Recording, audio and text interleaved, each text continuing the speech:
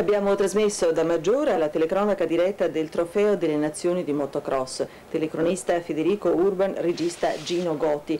E da Piediluco la telecronaca diretta delle fasi conclusive del campionato italiano di canottaggio, telecronista Riccardo Cucchi, regista Luigi Liberati. In collegamento diretto con Asti trasmettiamo il palio, rievocazione storica in costume per le vie della città, seguito dalla sfida in campo del palio tra i fantini dei vari rioni, su cavalli montati a pelo, cioè senza sella. Telecronista Carlo Cerrato, regista Bruno Cambarotta.